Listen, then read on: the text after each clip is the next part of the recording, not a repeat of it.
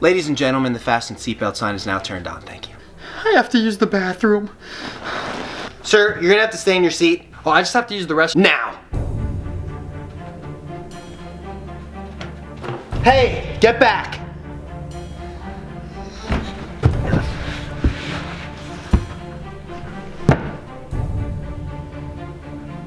Get back now! I'm sorry.